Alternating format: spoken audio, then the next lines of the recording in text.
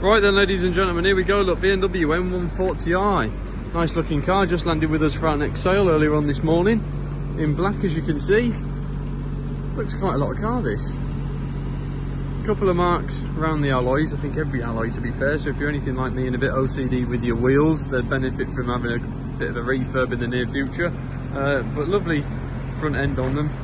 The headlights look lovely, don't they? Speaking of headlights, passenger side's clear. This one would just benefit from uh, good T-cut and a little bit of a flat back and a polish up. A couple of minor little stone chips across the front, being black of course shows everything, but overall very good.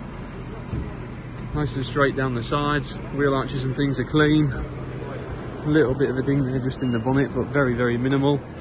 Overall looks a lot of car.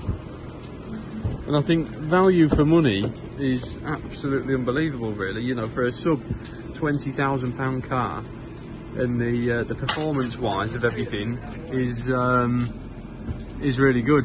Yeah, you know, and you can get some tremendous power figures out of them, can't you?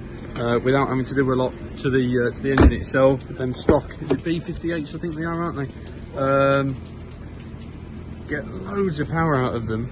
You know, you're at the same sort of power level as a supercar for sub twenty thousand pounds. So um, yeah, tremendous value for money. I think it's got 40 odd thousand miles, or just under 50. There you go, 49799 showing on the clock. Lovely dashboard, lovely display, usual paddle shift, etc. Obviously, this one is the uh, the automatic.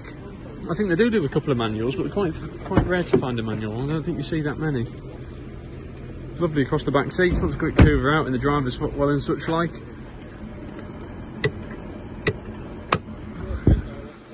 So there you go. Obviously, touch base with the office guys with regards to paperwork. They can let you know what we've got for it. I don't think that's released. Just pull that up, Jack.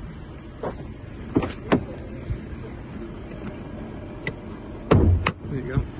Oh, one more.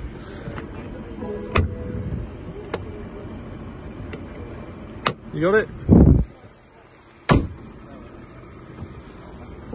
No? We'll have a look. We'll have a look in a minute, guys, and get some photos for you.